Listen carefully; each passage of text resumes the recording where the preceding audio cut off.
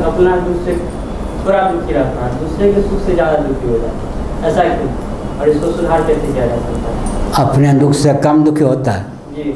और दूसरे के दुख से ज़्यादा दुखी हो जाता है। सुख से दूसरा दूसरे के सुख से ज़्यादा दुखी हो जाता है। दूसरे के सुख से दुखी होता है। बढ़िया। तो फिर क्या हुआ?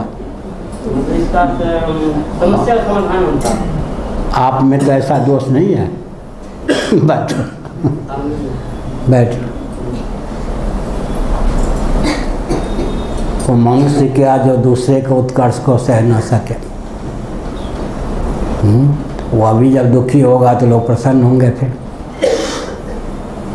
सुख दीन है, सुख होता है, दुख दीन है, दुख हो तो दूसरे को दिखो, दुखी देखकर जो प्रसन्न हो, और दूसरे को सुखी देखकर जो कष्ट पावे, वो मनुष्य क्या है?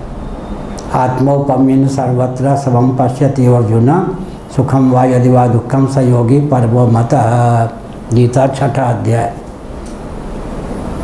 मनुष्य का लक्षण ही नहीं है, जो दूसरों के उत्कर्ष को देखकर जले। तीन दोष होते हैं स्वर्ग में।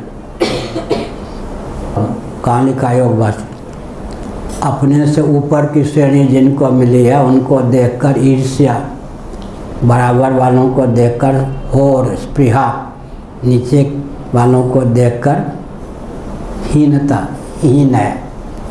इससे ऊँचा स्थान हमको प्राप्त। अरे ये मुझसे ऊपर का स्थान स्वर्ग ये भी मेरे समान हो गया।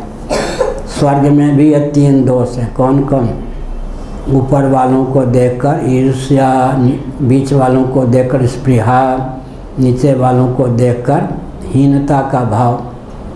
嗯。